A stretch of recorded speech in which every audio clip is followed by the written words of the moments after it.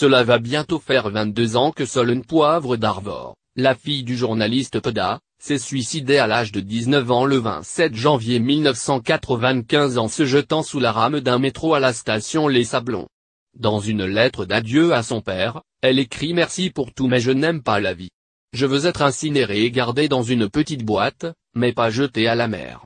La jeune femme était atteinte d'une anorexie mentale, et n'a jamais réussi à être sauvée. Le 30 janvier 1995, après avoir enterré sa fille à Trégastel en Bretagne, Peda ouvrait le 20 heures par un drame dans un lycée de Toul, où six étudiants avaient trouvé la mort. Rien n'est plus injuste que la perte d'un enfant, d'un adolescent, même s'il n'y a pas de gradation dans la douleur des uns et des autres, annonçait-il, faisant écho à son propre drame. Dans l'émission Un jour, un destin, diffusée sur France 2, la famille Poivre d'Arvor s'est confiée sur le décès de Solne. Véronique, la maman, explique que l'état physique de sa fille s'est dégradé à la suite d'un voyage aux États-Unis, quand elle est revenue elle était très bien. On lui a dit qu'il fallait qu'elle s'arrête mais c'était déjà trop tard. Elle était prise dans l'engrenage.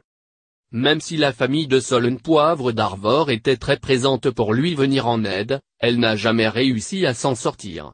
Elle a fini par atteindre le poids de 27 kilos, et est hospitalisée. On n'avait pas le droit de la voir, ni de l'appeler. C'est quand même fou, se souvient Arnaud, son frère. Feda se rendait tous les soirs devant la fenêtre de sa chambre d'hôpital, à attendre que la lumière s'éteigne pour être certain que sa fille dorme paisiblement. Le jour de son décès, Peda devait partir en week-end avec sa fille, mais qui était introuvable. Elle est partie en disant qu'elle n'aimait pas la vie, mais qu'elle nous aimait énormément, raconte sa mère. Je pense qu'elle serait heureuse de savoir que quelque part on a compris son geste même si c'était un geste terrifiant, raconte Véronique.